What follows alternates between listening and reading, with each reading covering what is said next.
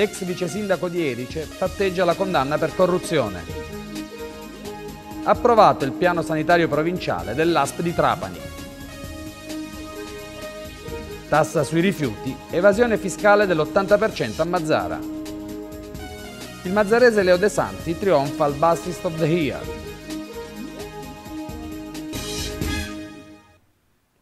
Buongiorno e ben ritrovati con il TG8 Informazione. Apriamo subito il nostro TG con le notizie che avete ascoltato dai titoli. Angelo Catalano, ex vice sindaco di Erice, ha patteggiato una condanna a un anno e nove mesi per corruzione e abuso d'ufficio in concorso.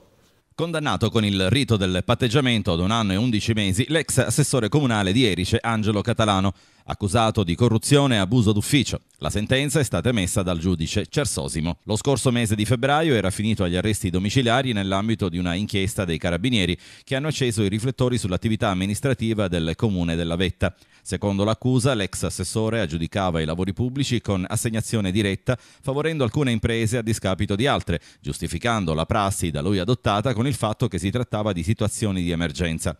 In particolare, Catalano, secondo la tesi accusatoria, abusando della sua funzione, esercitava pressioni sul dirigente del settore lavori pubblici al fine di far aggiudicare i lavori di manutenzione della rete di illuminazione pubblica ad un'impresa dallo stesso sponsorizzata, in spregio ai doveri di imparzialità e buona amministrazione e al principio di rotazione degli inviti e degli affidamenti.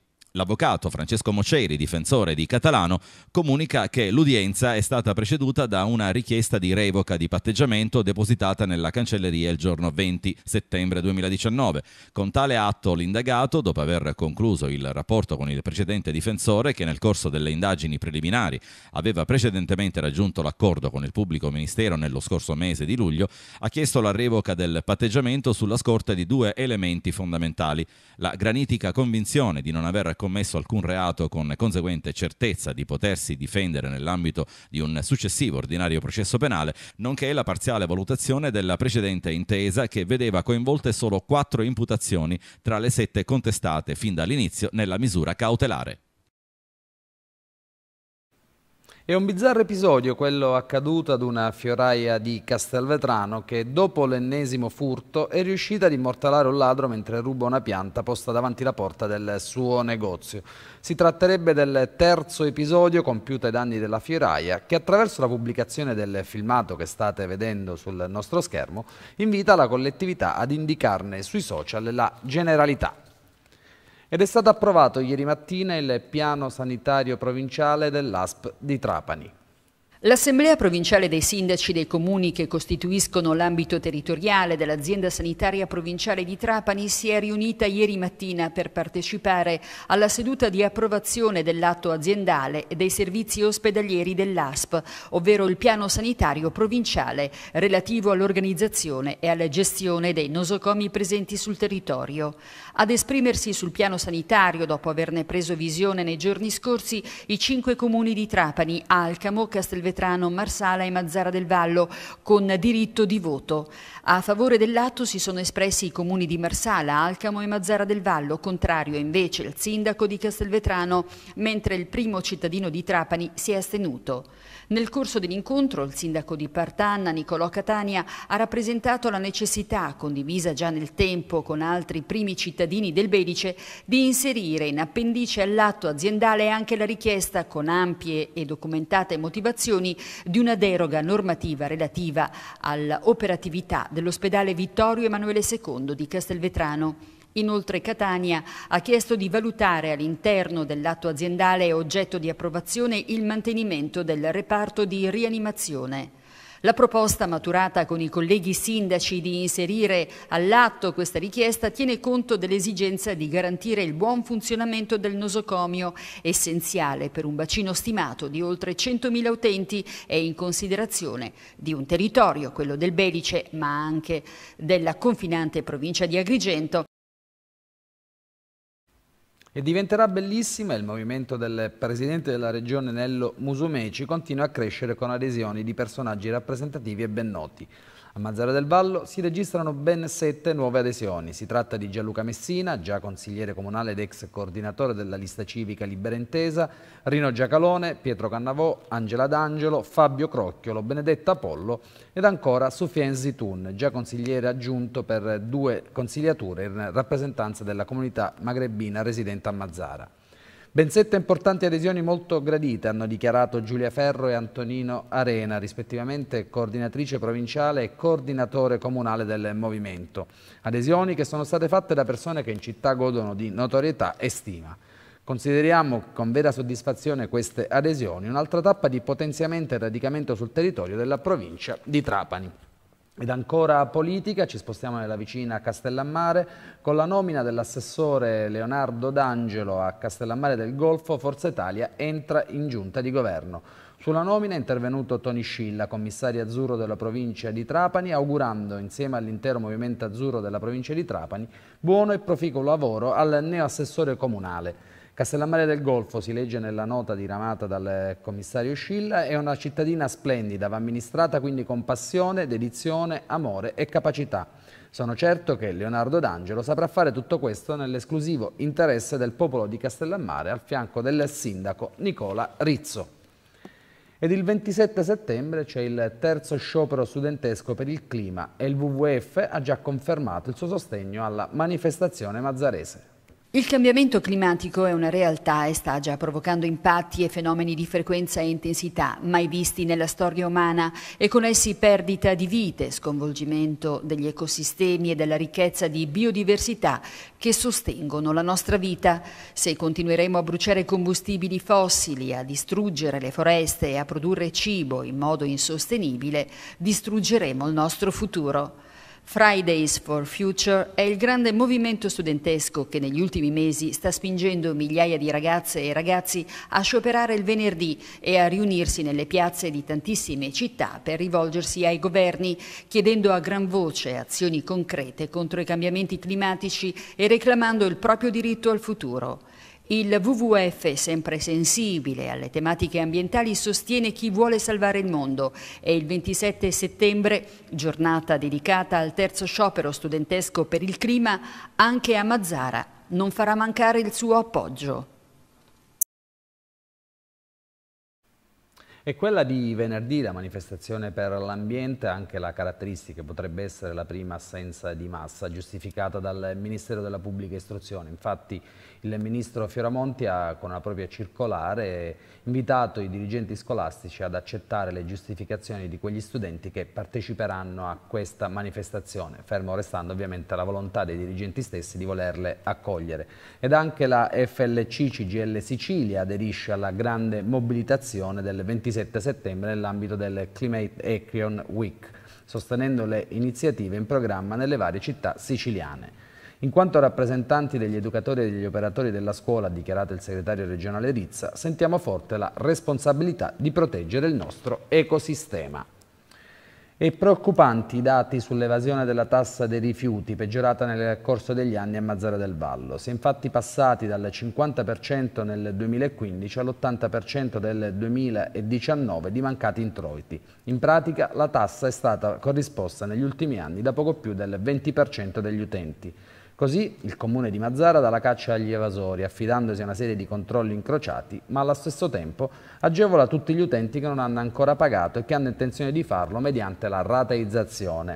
Per usufruire della dilazione di pagamento massimo per 18 mesi ci sarà tempo fino al 30 settembre relativamente ai tributi locali non riscossi, ossia non ancora iscritti al ruolo e non ancora gravati da azioni giudiziarie.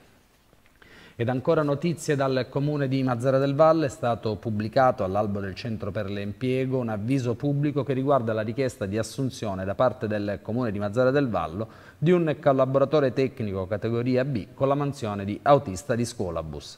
Il reclutamento della manodopera avverrà il 9 ottobre dalle ore 9 alle ore 13 presso la locale sede del centro per l'impiego di Mazzara. In base alla normativa vigente che regolamenta le chiamate nella pubblica amministrazione per le categorie A e B, il Centro per l'impiego elaborerà una graduatoria e poi comunicherà al Comune il nominativo del primo. Il Comune procederà quindi ad una prova tecnica pratica alla quale non sarà data però alcuna valutazione in termini di punteggio ma avrà l'obiettivo di appurare la capacità legata alla mansione di autista di scuolabus. Conclusa questa procedura, il soggetto sarà assunto a tempo indeterminato. Per ulteriori informazioni comunque è possibile rivolgersi al Centro per l'impiego di Mazzara del Vallo. E spostiamoci nella vicina Campobello, a Campobello di Mazzara, contributi per la fornitura gratuita e semi-gratuita dei libri di testo. È possibile presentare le istanze entro il 30 settembre.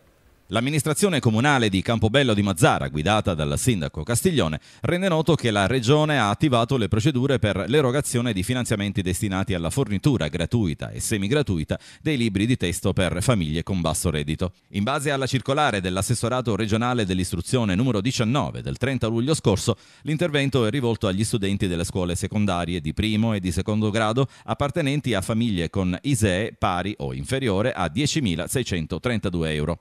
L'istanza di contributo, formulata secondo lo schema reperibile sul sito istituzionale del Comune di Campobello all'indirizzo www.comune.campobellodimazzara.tp.it, dovrà essere presentata esclusivamente presso la segreteria dell'istituzione scolastica frequentata dal richiedente entro il 30 settembre prossimo, a pena di esclusione. Le scuole cureranno infatti la ricezione delle domande e provvederanno a trasmetterle ai comuni di residenza. Come vincere nel web? E questo è il tema del seminario che si è svolto ieri a Menfi. Tonia Puleo, consulente web marketing della nota agenzia Prima Posizione, ha parlato di opportunità di business. Allora siamo in compagnia di Tonia Puleo. Tonia, ehm, le aziende oggi hanno veramente recepito il potenziale del web e quanto il web sia in grado di eh, aiutare a fare business?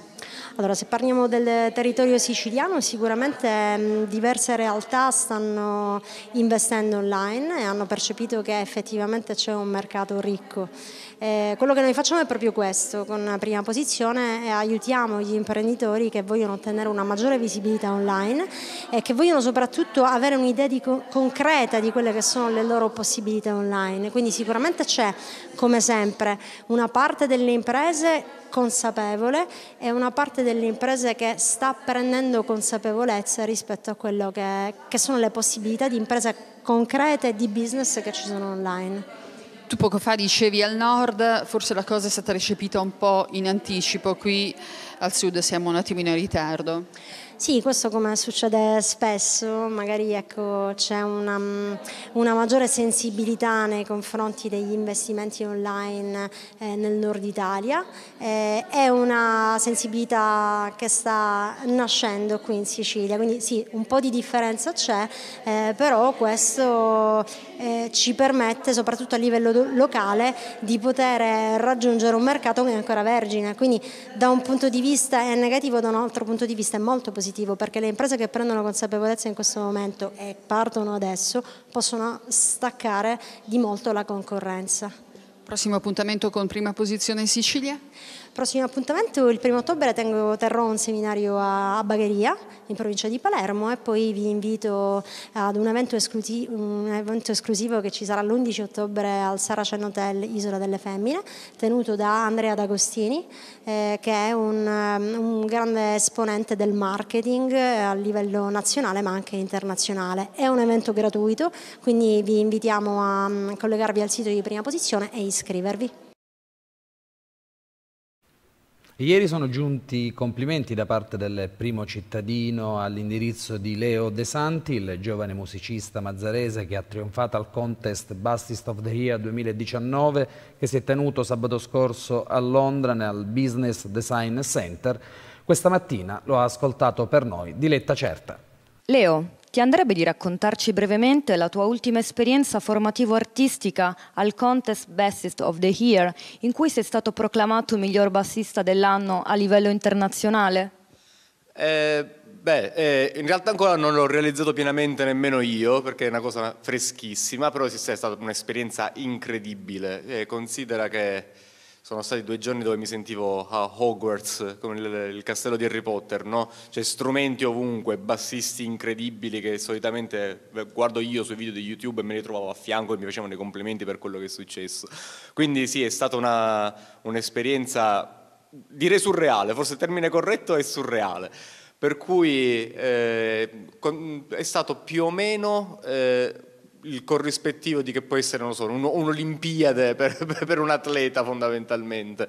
È ancora una cosa che devo realizzare appieno. Sono stati due giorni parecchio stancanti, devo dire la verità, eh, ma estremamente soddisfacenti. Eh, con altre due persone, tra l'altro fantastiche, due bassisti incredibili che erano gli altri due ragazzi che erano in finale con me, cioè Andreas Oxholm eh, della Norvegia e Marine Courtain della Francia.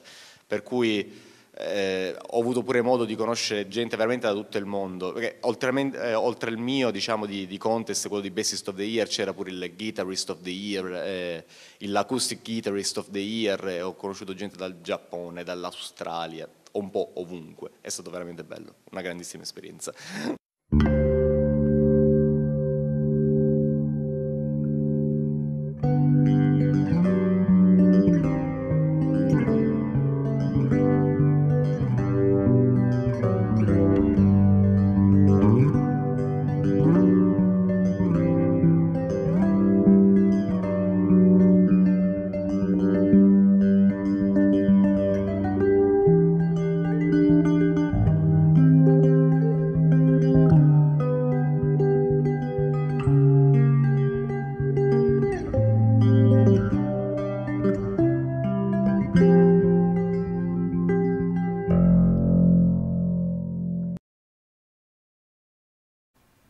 E complimenti a Leo De Santi anche da parte di tutta la redazione di Teleotto per lo splendido successo. Andiamo avanti con il TG, è in corso ancora il Couscous Fest a San Vito Lo Capo e anche l'ASP di Trapani partecipa al Cooking Show con i benefici e gli effetti collaterali degli Omega 3 e l'evento centrale alla manifestazione di oggi. Omega 3 e prevenzione cardiovascolare. È stato il tema del cooking show al quale ha partecipato la direzione aziendale dell'ASP di Trapani che si è svolto nell'ambito del Couscous Fest. Benefici, proprietà ed effetti collaterali degli omega 3 sono stati al centro del momento dedicato alla cucina in diretta sul palco sanvitese, il cui chef Peppe Alongi e Antonio Abultaggio del ristorante Disio di San Vito Lo Capo hanno reinventato e realizzato un tortino di alici con couscous mediterraneo. Il tema relativo alla sicurezza alimentare, con particolare riferimento alla prevenzione cardiovascolare, è stato affrontato insieme a Giuseppe Vinci, responsabile del servizio di dietologia e nutrizione clinica dell'ospedale Sant'Antonio Abate, che ha sottolineato gli effetti benefici degli acidi grassi omega 3 sulla salute dell'apparato cardiovascolare e del sistema nervoso e la loro potenziale utilità anche contro patologie che colpiscono gli altri organi. All'evento hanno partecipato il direttore generale dell'azienda sanitaria provinciale di Trapani, Fabio Damiani, i direttori amministrativo e sanitario Sergio Consagra e Gigi Oddo. L'ASP di Trapani è presente alla ventiduesima edizione del Couscous Fest, il festival internazionale dell'integrazione culturale a San Vito Lo Capo, con una postazione agli stand 49 e 50. La presenza dell'azienda ha finalità di divulgare le attività di promozione della salute e della prevenzione, con particolare riferimento alla sicurezza alimentare che rappresenta uno dei punti prioritari dei percorsi di prevenzione in coerenza anche con le linee guida del piano regionale della prevenzione. Nello stand ASP Trapani vengono presentate anche tutte le complesse attività di screening eseguite nei presidi ospedalieri del territorio ed è stata attivata una postazione dedicata al CUP, dove è possibile effettuare le prenotazioni per visite specialistiche. Ed era questo l'ultimo servizio di questo nostro telegiornale, io vi ricordo che potete fare le vostre segnalazioni agli indirizzi mail teleotto-tiscali.it o chiamandolo 0923 90 73 29 e ogni segnalazione verrà ovviamente presa in carico, inoltre vi ricordo che tutti i servizi del TG saranno poi messi sulla pagina web dell'emittente all'indirizzo www.teleottotv.it.